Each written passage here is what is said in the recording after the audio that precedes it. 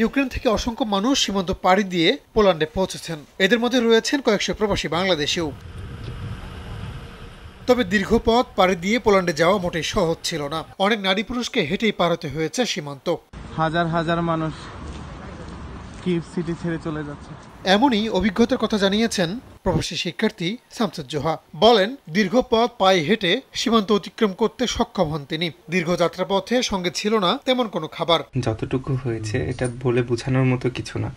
ছয় দিন এক টানা হেঁটেছি কোনো ধরনের খাবার কোনো ধরনের খাদ্য সামগ্রী পানীয় কোনো কিছুই ছিল না।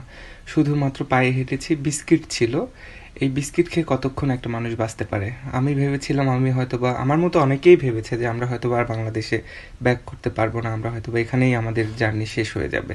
তার মতো আরও অনেকে আশ্রয় নিয়েছেন পোল্যান্ডে। বরিয়া আবহাওয়ায় ঝুঁকি নিয়েই চলতে হয়েছে পথ।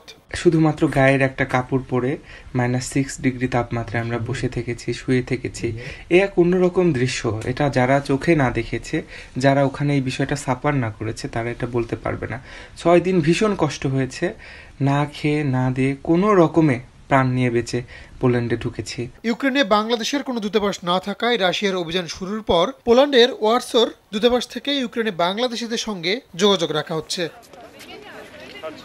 ইউক্রেনে এক হাজারের বেশি বাংলাদেশি অবস্থান করছিলেন। এর মধ্যে এখন পর্যন্ত পাঁচশোর বেশি প্রবাসী বিভিন্ন দেশে আশ্রয় নিয়েছেন।